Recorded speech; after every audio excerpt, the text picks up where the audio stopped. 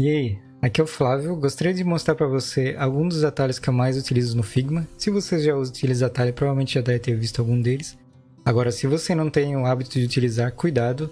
Provavelmente, se você fica procurando aqui o que quer usar ou ir no menu, você está perdendo tempo e, e foco no seu trabalho. Então, acompanhe aqui que certamente com essas dicas vai agilizar e melhorar o seu processo de trabalho. Vamos lá? Primeiro aqui eu separei em grupos que para mim faziam sentido separar. Aqui são os atalhos mais relativos a selecionar, mover, duplicar. Aqui são os formatos e aqui são os assets. O C aqui entenda como Ctrl Command para não ter que escrever Command Ctrl aqui, você já entende e você adapta com o seu computador. Beleza, vamos lá. A primeira é, é o mais óbvio, provavelmente se você não usa deveria estar usando que é o que é o de selecionar, que é o V, né?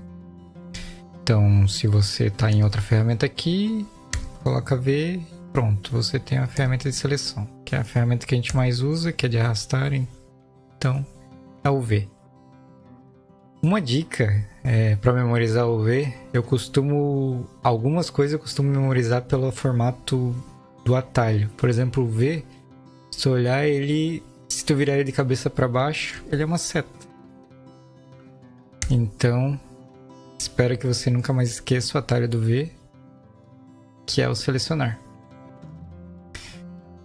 Vamos lá. O K. O K é o scale, que temos aqui, né? No selecionar temos o mover e o scale. Deixa eu mostrar um exemplo aqui para vocês. Não sei se vai dar para ver certinho aí, mas faça o teste aí. Quando ele mostra essa setinha para um lado e para o outro na diagonal, ele puxa, né? Só que ele não, não, ele não fica na proporção, né? Agora, se eu apertar o K, você vê que ele mudou a seta e ele puxa na proporção. Uma coisa para se perceber. Quando você está no mover, um jeito que dá para também diminuir a proporção é segurar Shift. Ele também faz isso. Só que qual que é a diferença de segurar Shift com, com mover e com o K? Assim, em formato não tem diferença alguma, mas eu vou te mostrar aonde que eles têm diferença. Imagine que você tem um card aqui com textos. Beleza, selecionei os dois. Se eu segurar Shift e redimensionar, você vê que ele não muda a proporção do card, só que o texto ele fica do mesmo tamanho, né? Ele não muda a proporção. Essa é a diferença. Agora, se você segurar com o K, que é o scale aqui, né? Olha a diferença. Ele reduz o texto e o card.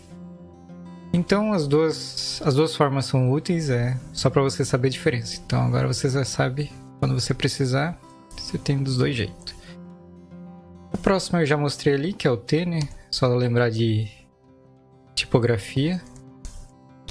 Se você só clicar, ele, ele faz o ou você faz um box aqui, só clicar e arrastar. Beleza. Acho que esse é o básico. Ah, shift Out. Imagine que você tem uma forma aqui. Na verdade, o, é, só o Alt, né? Que seria útil, né? Que ele duplica. Se você arrastar, ó, ele duplica. Você vê que até no, na seta ali ele faz uma. Ele duplica as duas setas, né? Até visualmente ele indica isso.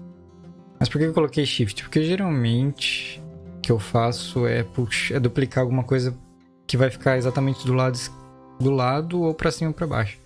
Então, ó, se eu segurar Alt, só o Alt, ele não ele fica livre, né? Mas se eu seguro o Shift, agora ele ficou alinhado aqui. Então isso me ajuda bastante. Para mim já é automático, eu já eu seguro Alt e Shift. Para baixo também funciona a mesma coisa. Isso me ajuda a deixar alinhado. Beleza?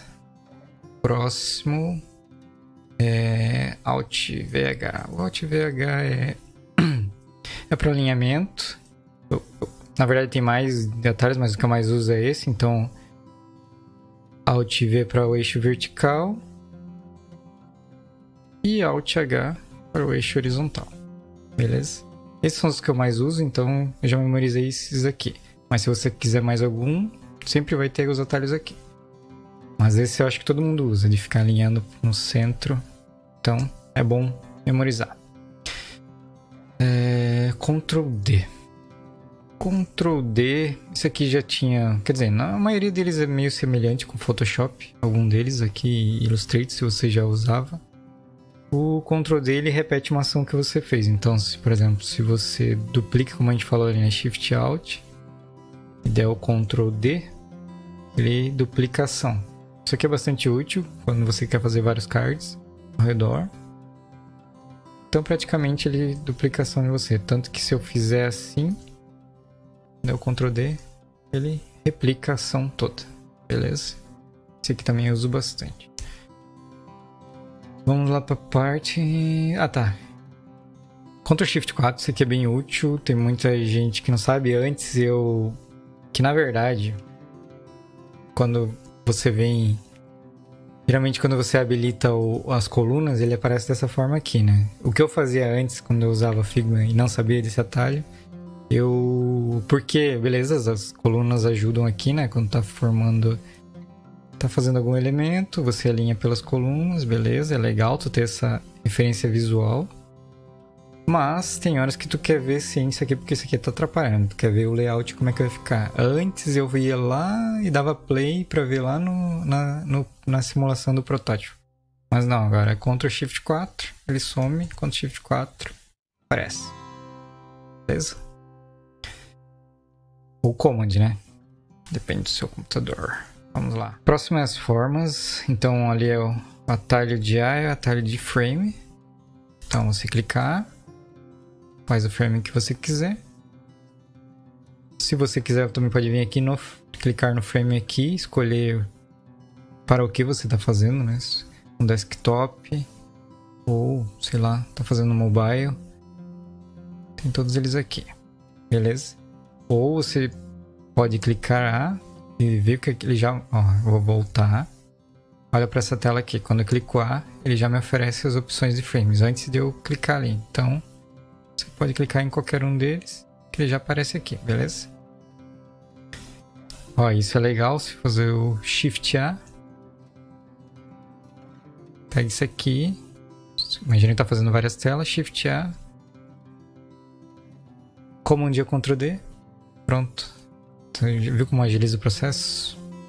Beleza. As outras são essa aqui, essas outras duas são bem legais de ter, porque são as formas que você mais usa, né? Então, ó, é para elipse. Então, essa é uma daqueles macetes que eu uso para memorizar pela forma. A letra O tem a forma de uma elipse. Então, fica fácil de memorizar. E o R, que é de retângulo. Beleza? E agora os axes assets, temos o Shift A, que é que é Auto Layout. Ó.